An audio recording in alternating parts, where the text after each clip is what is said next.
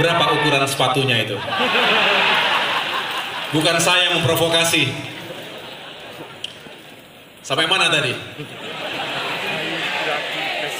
Sekarang para anggota Dewan Perwakilan Rakyat Daerah Provinsi se-Indonesia. Mana?